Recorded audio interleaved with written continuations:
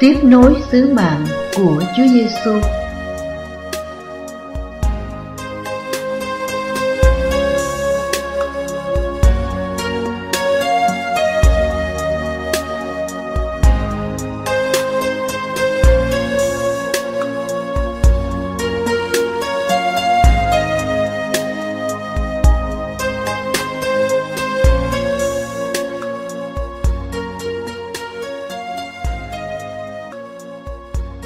Khi nghe giảng về Thiên Chúa là cha nhân lành, là đấng đầy lòng thương xót, một tín hữu không đồng tình với vị giảng thuyết.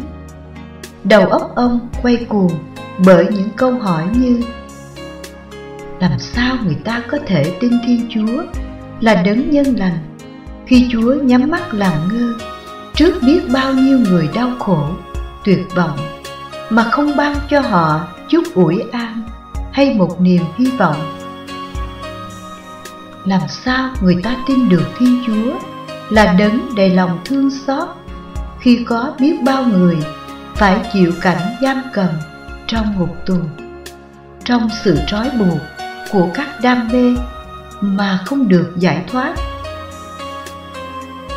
Thật khó tin có thiên chúa là đấng tốt lành khi người để cho những người mù nhất là mù tối trong tâm hồn, không được nhìn thấy ánh sáng chân lý.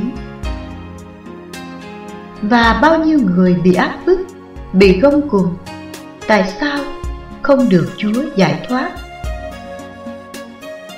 Đêm hôm ấy, trằn trọc không ngủ được vì những câu hỏi như thế lẫn vẩn trong đầu. Ông ta chợt nhận ra câu đáp của thiên chúa từ trong vắng lặng của màn đêm. Ta đã ra tay rồi đó. Sao con còn trách ta? Chúa ra tay lúc nào đâu? Chúa đã làm gì để cứu vớt những người tuyệt vọng, những người bị giam cầm, những người mù tối, những người bị áp bức? Ta đã dựng nên con và đặt con hiện diện giữa lòng đời để con thay ta mà hành động thế sao còn trách ta?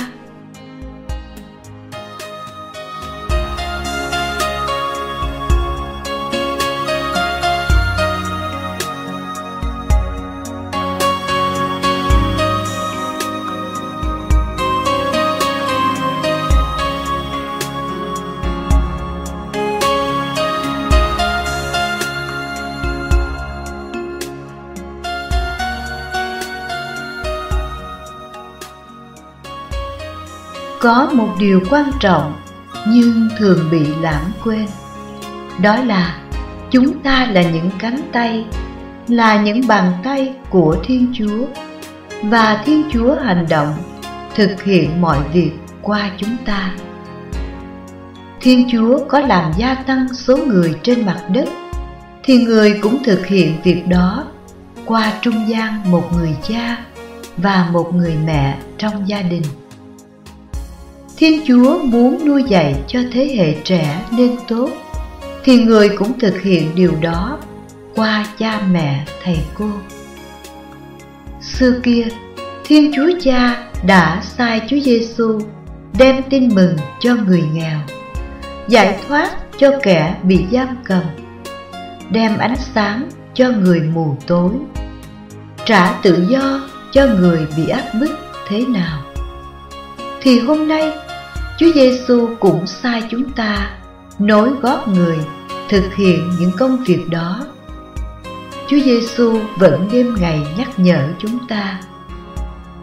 Như Chúa Cha đã sai thầy, thầy cũng sai anh em. Thế là chúng ta phải lựa chọn hoặc là chấp nhận ở lại trong nhiệm thể Chúa Giêsu, trở thành cánh tay nối dài của Chúa Giêsu để tiếp tục sứ mạng của người hoặc là chúng ta từ các lìa mình ra khỏi Chúa Giêsu để khỏi bị người sử dụng như một phần thân thể của người mà phục vụ tha nhân.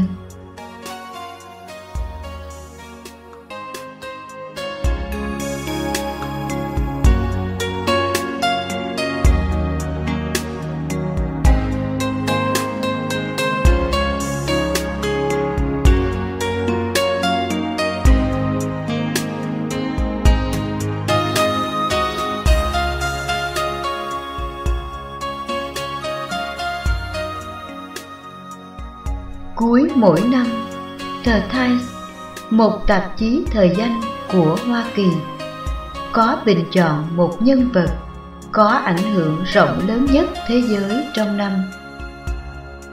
Thông thường, các nhân vật làm nên lịch sử, các bậc vĩ nhân, các vị tổng thống có nhiều quyền lực và ảnh hưởng lớn nhất được bầu chọn vào danh sách này. Tuy nhiên, đặc biệt là cuối năm 2006, người được bầu chọn làm nhân vật nổi trội của năm là bạn. Vâng, là bạn, là tôi, là mỗi người chúng ta. Thật vậy, đây không phải là chuyện đùa. Mỗi người trong chúng ta làm nên lịch sử. Thế giới này có được đổi mới, có được tiến bộ hay không cũng là nhờ sự cộng tác của từng người, của mỗi một người trong cộng đồng nhân loại. Đừng nghĩ rằng mình chỉ là một hạt cát bé nhỏ vô ích. Vì những bãi cát mênh mông cần phải được tạo nên bằng những hạt cát bé nhỏ như thế. Đừng nghĩ rằng mình chỉ là một giọt nước li ti, không nghĩa lý gì. Vì cả đại dương bao la cũng phải được tạo nên bằng những giọt nước li ti như vậy đó. Xin đừng quên, mỗi người chúng ta là chi thể của Chúa, là khí cụ cứu rỗi của người. Và hãy để Chúa sử dụng chúng ta như khí cụ xây dựng hòa bình, yêu thương của Chúa. Lời ngôn sứ Isaiah tiên báo về Chúa Giêsu hôm xưa cũng là lời nhắn gửi đến mỗi người chúng ta.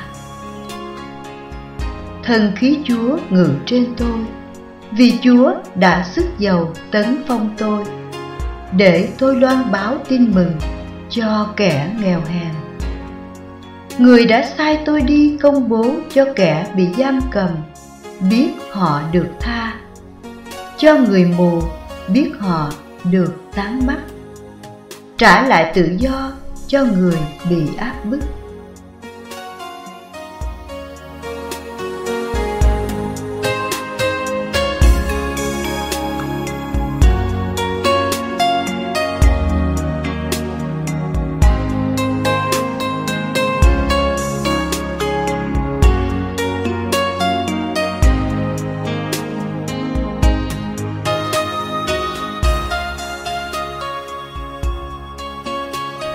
Là chi thể của Chúa Giêsu.